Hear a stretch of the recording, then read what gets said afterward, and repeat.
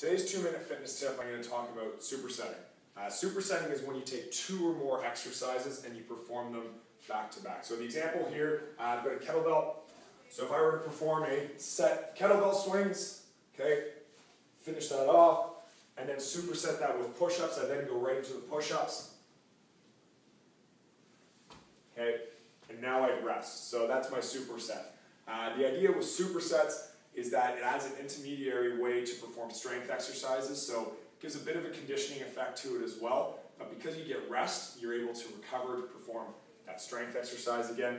Uh, it's different than a circuit because a circuit, which may be more on the side of conditioning, you're going to do continually. So you may not be able to do as much weight with specific exercises. Uh, this way, you can really perform reps till failure. So if you can superset, let's say these bench, a bench press with push-ups. That's a good way to fail the chest. Uh, if you're going to do, say, regular squats with body weight squats, you can really combine them any way you want.